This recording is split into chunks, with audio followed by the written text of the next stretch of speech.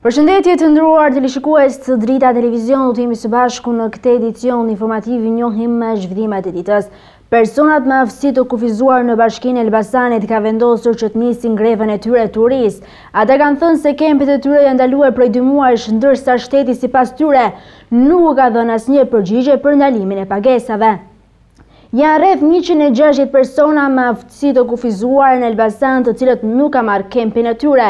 Prej ditësh ishin në pritje të një përgjigjeje nga instancat përkatëse, ndërsa për këtë arsye rreth orës nëntë e tridhjetë minuta hynë në grevë urie. Vendimet e fundit të Komisionit Epror Mjekësor kanë prekur një numër të konsiderueshëm të personave me aftësi të kufizuar në të gjithë Shqipërinë. Në bazë të VKM-së numër shtatëdhjetë e tetë personat të cilët kanë dëmtime definitive pa perspektivë përmirësimi të gjendjes shëndetësore Deklarohen invalidë të përjetshëm dhe nuk duhet të paraqiten pranë komisionit mjekësor epror. Mirëpo ky i fundit, duket se ka dënuar invalidët, një pjesë e mirë e të cilëve janë kryefamiljarë dhe nuk përballojnë as nevojat e tyre mjekësore. Ministria e Shëndetësisë dhe Mirëqenies Sociale ende nuk ka reaguar në lidhje me grevën e personave me aftësi të kufizuara.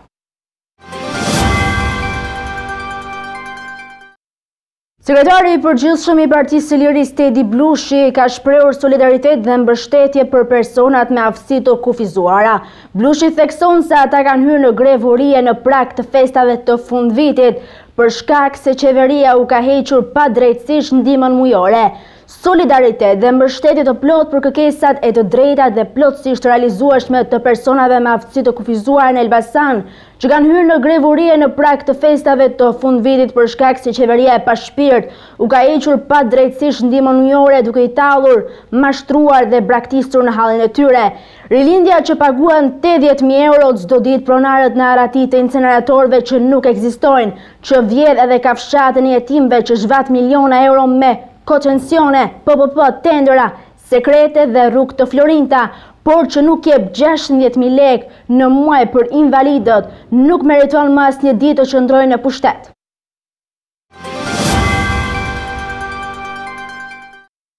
Media britanike Daily Mail ka ngritur alarmin lidhur me projektin e qeverisë për amnistitë fiskale në vendin tonë.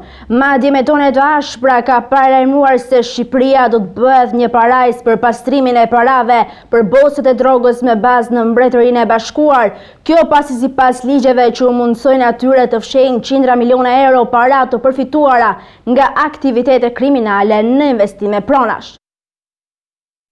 Në kohën kur qeveria është e vendosur për të miratuar amnistitë fiskale, mediat britanike kanë vënë në shënjestër shqiptarët. Daily Mail shkruan se përmes amnistisë fiskale Shqipëria do të bëhet një parajsë e pastrimit të parave për bosët e drogës me bazë në Mbretërinë e Bashkuar. Qeveria shqiptare po prezanton një amnisti fiskale dhe kriminale, duke lejuar këdo që do të deklarojë pasuri deri në dy milionë euro pa pasur nevojë të zbulojë origjinën e parave.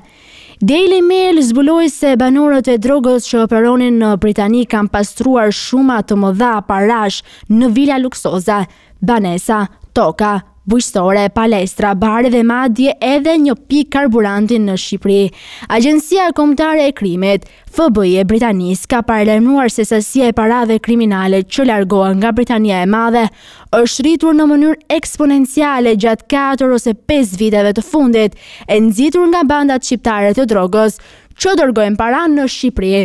Sipas të përditshmes britanike, paratë e pista besohet se kanë nxitur një burim ndërtimesh në Shqipëri, me vlerën e lejeve të ndërtimit të pronave në kryeqytetin, Tiranë, Duke u rritur nga njëqind e dymbëdhjetë milionë paund në tremujorin e parë të dy mijë e njëzet e njëshit, në dyqind e gjashtë milionë paund në të njëjtën periudhë të këtij viti. Bandat e krimit të organizuar dyshohet se kanë përdorur një sërë metodash për të transportuar paratë kriminale përtej kufijve, duke përfshirë përdorimin e agjencive të udhëtimit si fronte për trafikun e parave, fshehjen e dhjetëra mijërave paundëve në pjesën e pasme të televizorëve, ose mbushjen e rrotave të kamionëve me kartëmonedha. Sipas shkrimit, më shumë se trembëdhjetë mijë shqiptarë kanë mbërritur në Britani përmes Kanalit të La Manshit që nga fillimi i vitit. Festat e fundvitit kanë rritur ndjeshëm numrin e shqiptarëve që kthehen në vendlindjen e tyre për të kaluar ditët festive. Në portin më të madh, në Durrës në njëzet e katër orët e fundit, Kanë hyrë mbi shtatë mijë shtetas shqiptarë si dhe mbi një mijë e tetëqind automjete. Fluks emigrantësh ka pasur edhe në pikën kufitare të Kakavijës, përmes së cilës në në shtatëdhjetë e dy orët e fundit kanë hyrë rreth pesëmbëdhjetë mijë persona, ndërsa në pikën kufitare të Kapshticës kanë hyrë pesë mijë e shtatëqind e shtatëdhjetë e dy emigrantë. Si çdo vit në prag festash, në pikat e kalimit kufitare ka një fluks të madh qytetarësh që kthehen në vend për të festuar. Në portin më të madh në Durrës në njëzet e katër orët e fundit kanë hyrë mbi shtatë mijë shtetas, si dhe mbi një mijë e tetëqind automjete. Vetëm në mëngjesin e kësaj të shtune kanë mbërritur katër tragete nga Italia. Për të përballuar këtë fluks, kompanitë e udhëtimit kanë nisur lundrimet vajtje-ardhje brenda ditës. Policia kufitare ka marrë masat për të shtuar sportelet në këtë periudhë të ngarkuar. Nga dymbëdhjetë sportele që janë në ditë normale, Tashmë ato janë shtuar, duke qenë në funksion njëzet e katër të tilla.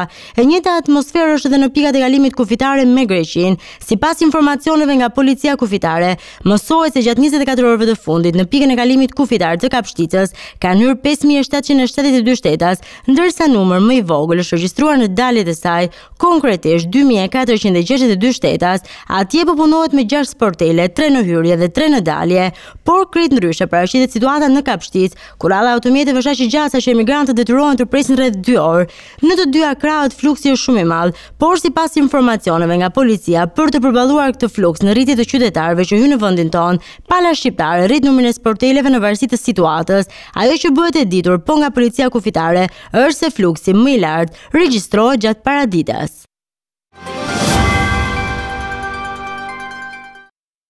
Genti Isaj ka humbur jetën të premten në Ersekë ndërsa kishte dhimbje të forta dhëmballe, por ajo që mbetet ende mister është shkaku i vdekjes së tridhjetë e dy vjeçarit, ndërsa priten analizat e para për të hedhur dritë mbi shkakun e vdekjes së tij.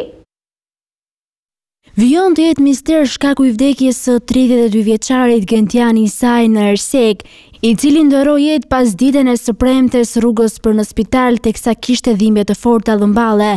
Nëna pretendon se i biri ka ndërruar jetë nga qetësuesit që piu për dhëmballën, i cili i kishte marrë me rekomandimin e dentistit. E erdhi djali nga Erseka. Atë me plurë e kish pirë, një me plurë e kish pirë në Ersekë. Atë me plurë. Tre kokra, tre llojet kokrave që i kish marrë pas, i piu këtu, erdhi në ora 10, në ora 10 e gjysmë i piu ato pastaj. Kur erdhi që nga Erseka, ai ishte bërë shpelë, dhirsë, Kish dërsirë, po nga ajo mbase, ajo me pna ajo kish me plur nga ajo. Lenci i kishte dhënë recetë. Edhe vajti në farmaci, pastaj djali atje i mori. Derisa erdhi dhe derisa që u smur djali që u shtri që gjitha unë ashu, ai ashu ishte i smur ishte. Kur hyra në kuzhinë unë djali ishte shtrirë atje. Thirr o Genti, o Genti e fërkova nga duart, ish bër djali akull i ftohtë nga duart. Nëna e Gentit tregoi se djali nuk kishte pasur asnjë shqetësim më parë dhe kërkon të zbardhen shkaqet e vdekjes. Lindi djali që kur ish i vogël fëmijë e deri bëri tridhjetë e pesë vjet djali nuk ishte shtruar një në spital, s'kish bërë një gjilpërë në trup ca yje. S'kanë kosh as për gje. Edhe gripa ata të rrallë rrallë e zinin. Ai djali e të mërkurën ishte në punë. Të drejtën të zbardhet e drejta e djalit. Teksa shkakun e saktë të vdekjes pritet ta japin ekspertizat paraprake, burime nga spitali bëjnë me dije se dhëmballa e tridhjetë e dy vjeçarit ishte infektuar, ndërsa infeksioni i ka prekur të gjithë gojën dhe një pjesë të organeve. Paraprakisht dyshohet se infeksioni i thellë te pjesa e organeve jetësore ka çuar në vdekjen e të riut. Deri tani familjarët e viktimës nuk kanë denoncuar mjekët për neglizhencë, pasi priten ende të dhënat zyrtare mbi shkakun e vdekjes së 32 vjeçarit Gentian Isaj.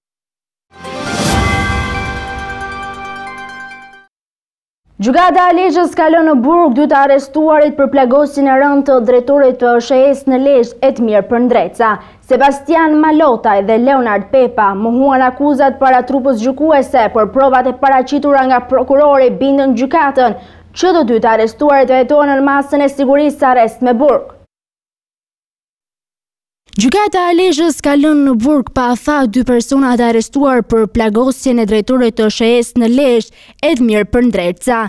Sebastian Malotaj dhe Leonard Pepa akuzohen për plagosje të rëndë me dashje dhe goditje për shkak të detyrës, ndërsa përpara trupit gjykues ato mohuan autorësinë e ngjarjes, pavarësisht qëndrimit të të akuzuarve. Referuar provave të paraqitura nga prokurori Sabri Kastrati, Gjyqtari Lim Perdeda e cilësoi të ligjshme arrestimin e tyre dhe vendosi që të dy të hetohen nën masën e sigurisë, arrest me burg. Ndërkohë, në deklaratën e tij të parë për media, që pas ngjarjes së rëndë të 30 nëntorit, drejtori i SHE-së tha se dhuna ndaj tij ka ndodhur vetëm për arsye pune. Goditja është, do më thënë, për shkak të detyrës, absolutisht që po, sepse s'kam pas probleme tjera, dhe s'ka të bëjë me asnjë gjë tjetër përveçse për shkak të detyrës, dhe duke pretenduar gjithmonë që me treguesit me i arrit në nivelet maksimale, normal që prishen interesa, dhe ndodh dhe kjo. Qoftë dhe lëvizje punonjësish do më thënë që prishen interesa dhe për ato, edhe kjo pjesë e kësajt është. Edmir Përndreca u dhunua mbrëmjen e tridhjetë nëntorit në rrugën Lezhë-Shënkoll. Dyzet e tre-vjeçari po lëvizte me makinën e OSHE-së teksa u godit nga pas qëllimisht nga një automjet tjetër pasi ishte ndjekur. Pas goditjes me makinë disa persona e kanë dhunuar fizikisht Përndrecën, duke i shkaktuar fraktura në kokë, krah dhe këmbë. Tani ju ftoj të ndiqni parashikimin e motit. Territori shqiptar për ditën e hënë parashikohet të përshkohet nga një mot i qëndrueshëm dhe me diell. Sipas parashikimeve, temperatura minimale do të jetë 3 gradë Celsius, ndërsa temperatura maksimale parashikohet të jetë 17 gradë Celsius. Era do të fryjë me një shpejtësi mesatare, një deri në 8 metra për sekondë në drejtimin veriperëndimor, çka do të bëjë që të krijohen dallgëzime deri në 4 ballë, ndërsa temperaturat minimale dhe maksimale në disa qytete kryesore të Shqipërisë do të jenë si vijojnë. Shkodër, 8 deri 14 gradë Celsius, Kukës, 4 deri 10 gradë Celsius, Peshkopi,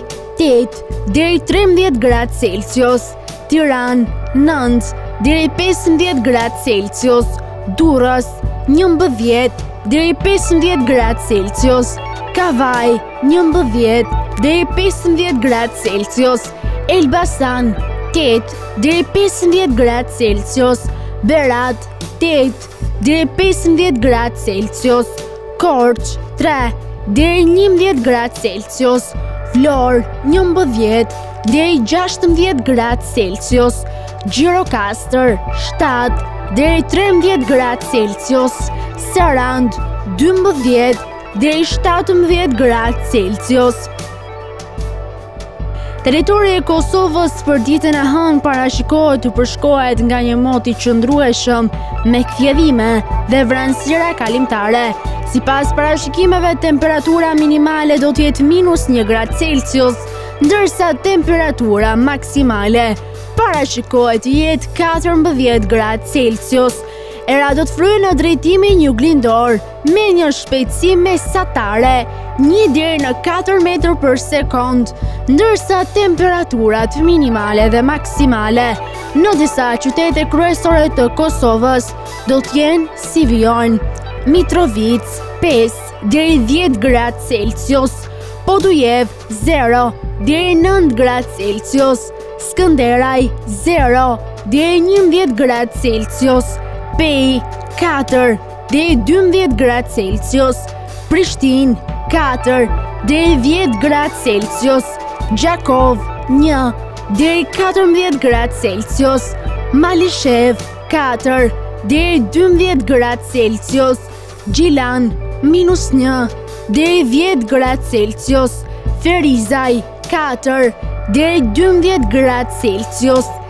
Kaçanik 3 deri 12 gradë Celsius, Prizren 4 deri 10 gradë Celsius. Të nderuar teleshikues të Drita Televizion, kjo ishte gjithçka e përgatitur në këtë edicion informativ, bashkë takohemi në edicione të tjera, deri atëherë mirë u takofshim.